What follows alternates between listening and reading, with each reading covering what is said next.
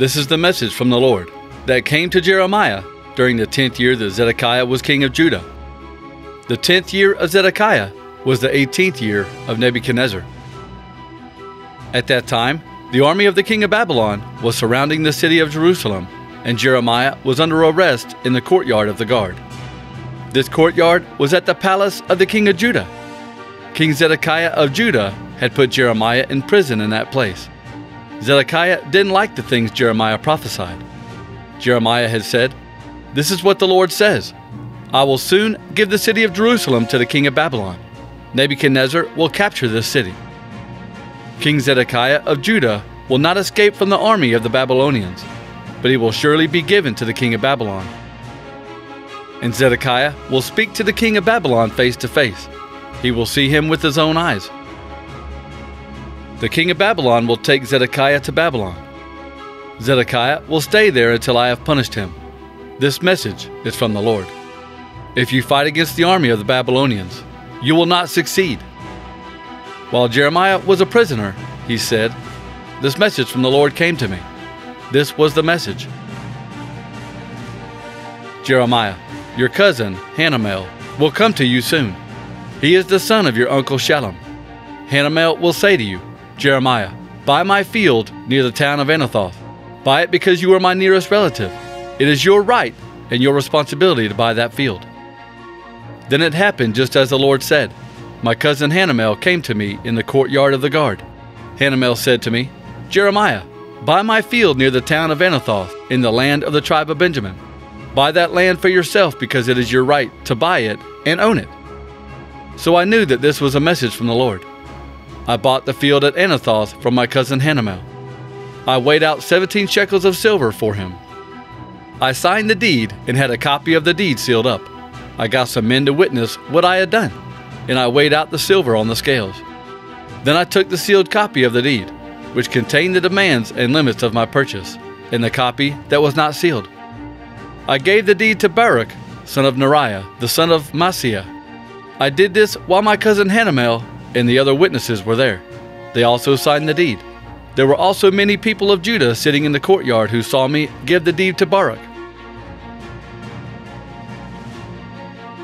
With all the people watching, I said to Baruch, This is what the Lord All Powerful, the God of Israel, says Take both copies of the deed, the sealed copy and the copy that was not sealed, and put them in a clay jar.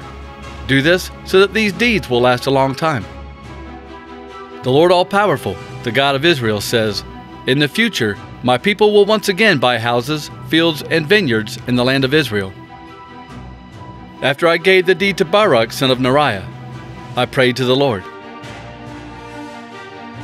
Lord God, with your great power, you made the earth and the sky. There is nothing too hard for you to do. You are loyal and kind to thousands of people, but you also bring punishment to children for their father's sins.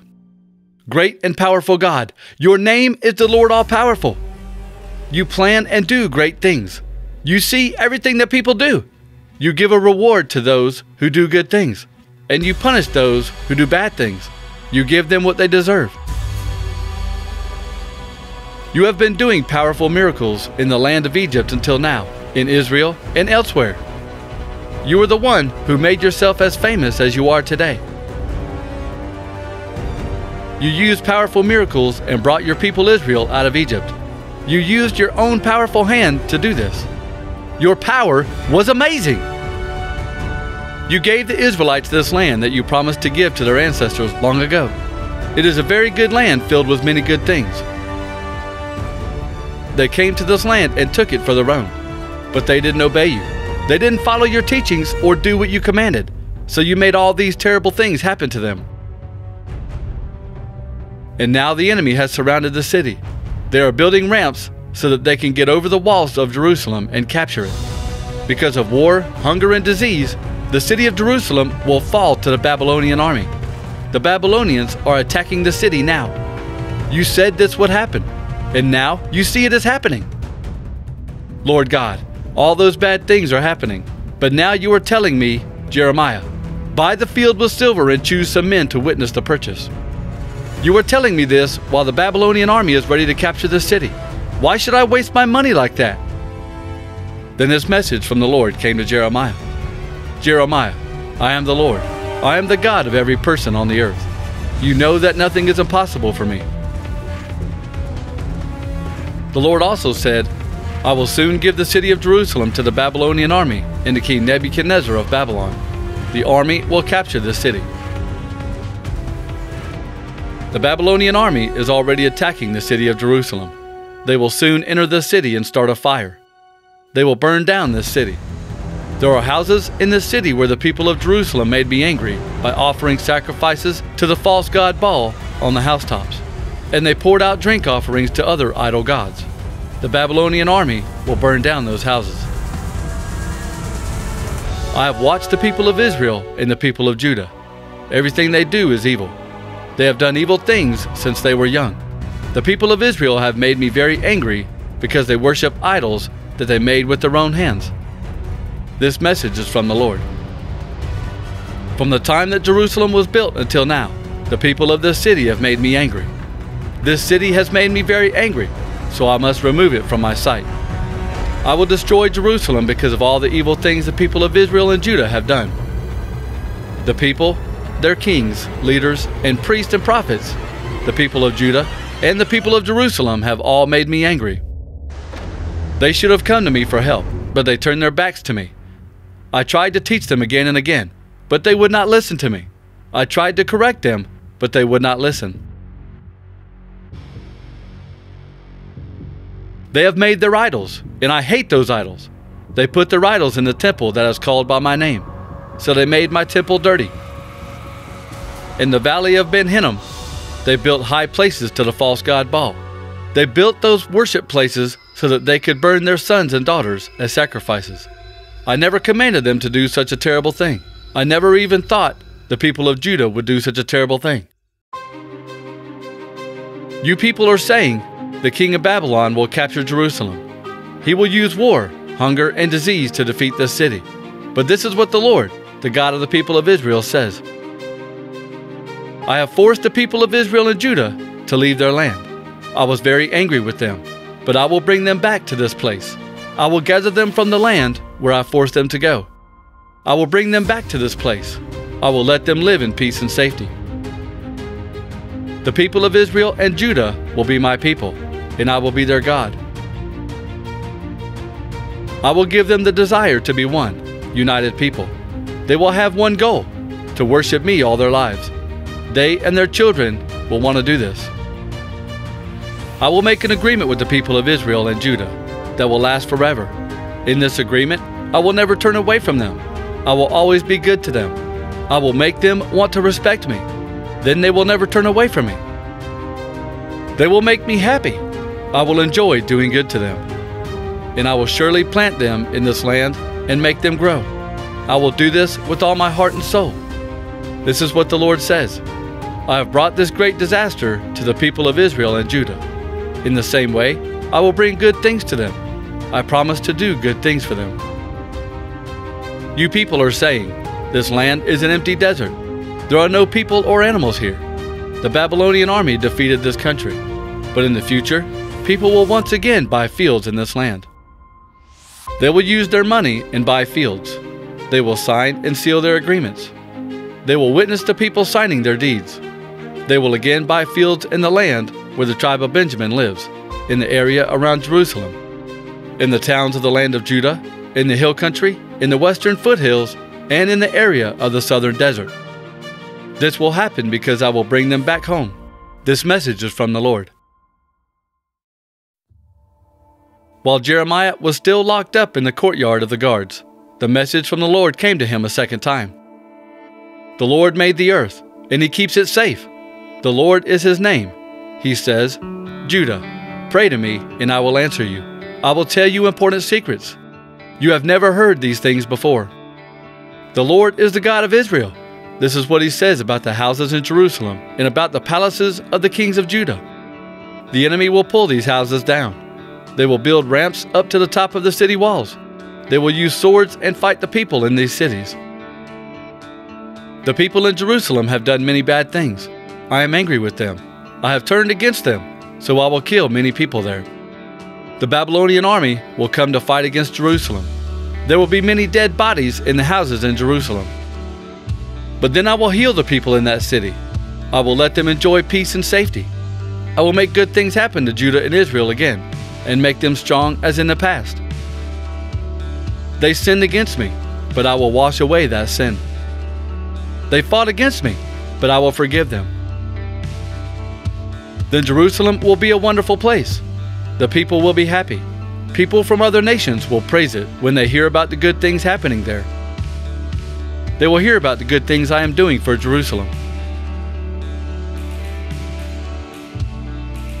This is what the Lord says You people say that your country is an empty desert.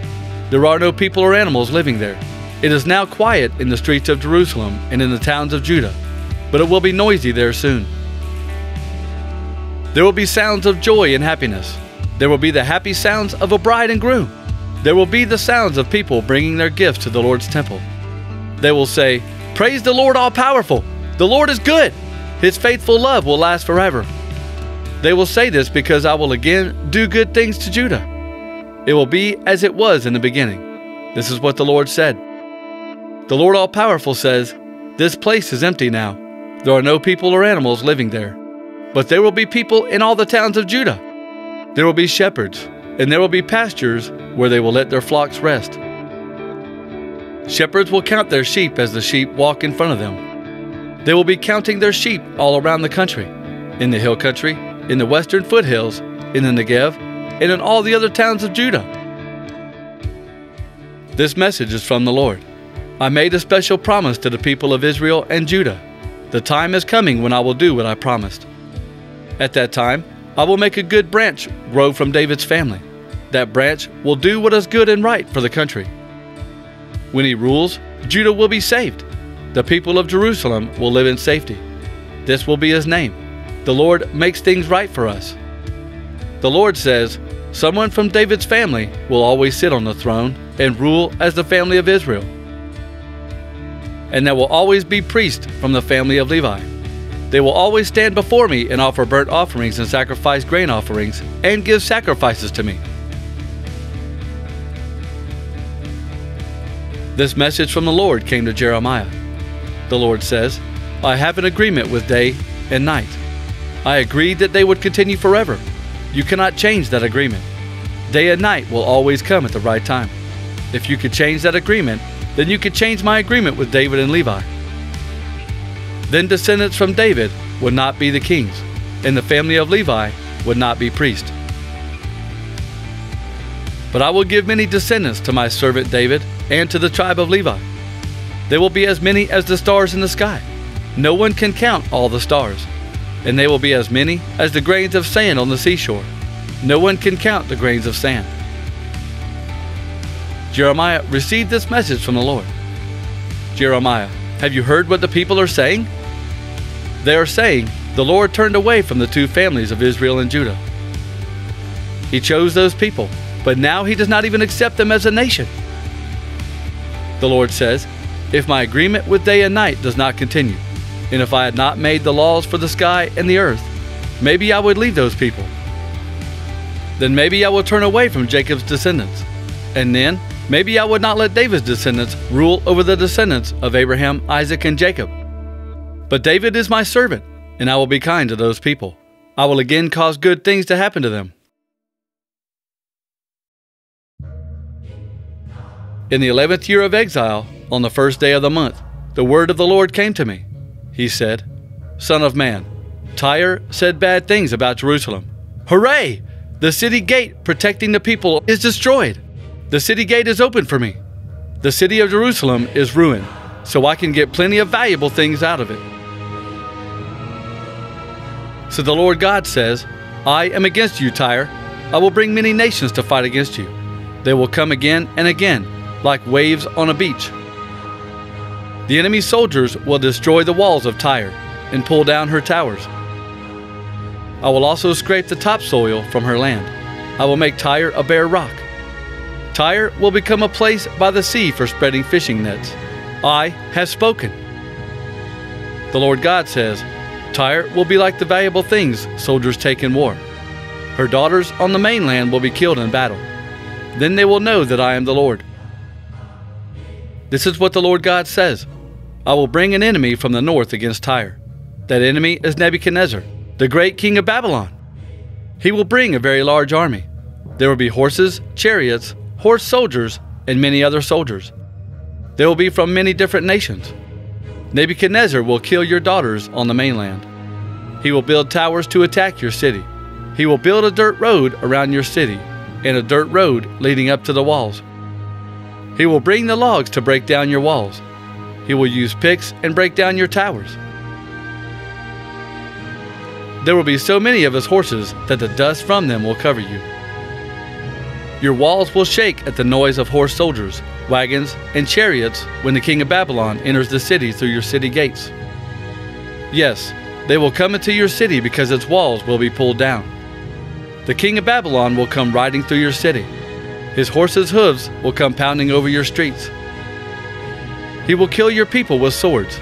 The strong columns in your city will fall to the ground. Nebuchadnezzar's men will take away your riches. They will take the things you wanted to sell. They will break down your walls and destroy your pleasant houses. They will throw the wood and stones into the sea like garbage. So I will stop the sound of your happy songs. People will not hear your harps anymore. I will make you a bare rock. You will be a place by the sea for spreading fishing nets. You will not be rebuilt, because I, the Lord, have spoken.